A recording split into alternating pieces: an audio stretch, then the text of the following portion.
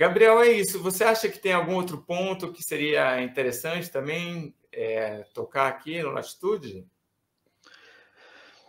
Simplemente eh, avanzar en, en,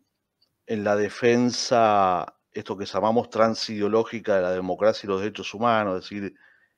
que, que todos le pidamos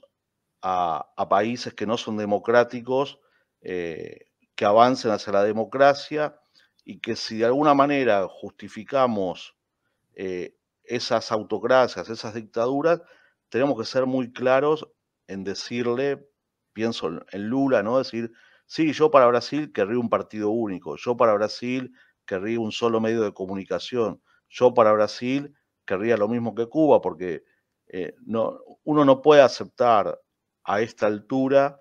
eh, en una región que es mayormente democrática, con todos los problemas eh, que tenemos y, con los desafíos que, implica la democracia, eh, que seamos indiferentes frente al sufrimiento de otros, que seamos indiferentes frente a que otros no tengan los mismos derechos básicos que tenemos nosotros, como es elegir libremente a nuestras autoridades.